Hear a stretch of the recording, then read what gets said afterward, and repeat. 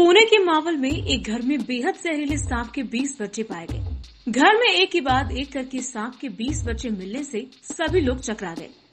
घटना की जानकारी तुरंत फॉरेस्ट टीम को दी गई और उसके बाद वन्य जीव पर्यवेक्षक, मावल संस्था के सदस्यों ने 20 शावकों को और एक मादा को सुरक्षित रूप से रेस्क्यू सेंटर ले गए। एक किसान के घर के परिसर में बाथरूम के पास 20 बच्चे और मादा पाए गए।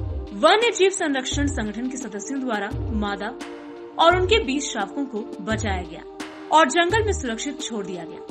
घोनस एक बहुत ही जहरीला सांप है और मावल के कई हिस्सों में पाया जाता है। जून के महीने में मादा घोना शावकों को जन्म देती है। एक मादा एक बार में 15 से 20 शावकों को जन्म दे सकती है। इन सभी सांपों के बच्चों को सुरक्षित रूप से जंगल में छोड़ दिया जाएगा। Bureau report, V service news. Pune Maharashtra.